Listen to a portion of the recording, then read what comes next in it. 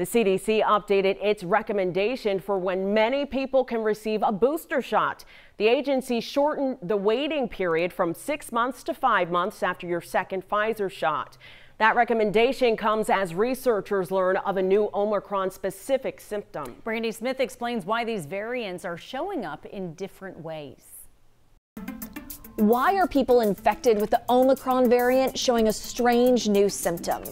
At this point in the pandemic, we're all pretty familiar with the symptoms of COVID fever, cough, and a loss of taste and smell.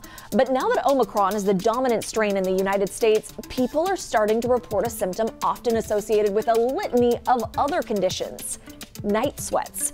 That means repeated episodes of extreme perspiration, often leaving your clothes and sheets soaked with sweat by the time you wake up.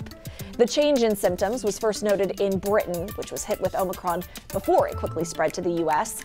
Doctors with the country's National Health Service now say night sweats are a sign you should go get tested for COVID. The other symptoms most reported with Omicron are sore throat, headache, and fatigue. Common COVID symptoms like loss of taste and smell don't appear to be affecting people infected by this new variant. The good news is there is growing evidence that Omicron causes less severe symptoms. The research shows the extremely contagious variant is more likely to infect the throat than the lungs, meaning it's doing less damage to the lungs. So far, these studies haven't been peer reviewed, but researchers believe Omicron's mutations have changed its ability to infect different types of cells. Experts still warn we shouldn't be lulled into a false sense of security because Omicron remains a very real global health threat. With The Y, I'm Brady Smith.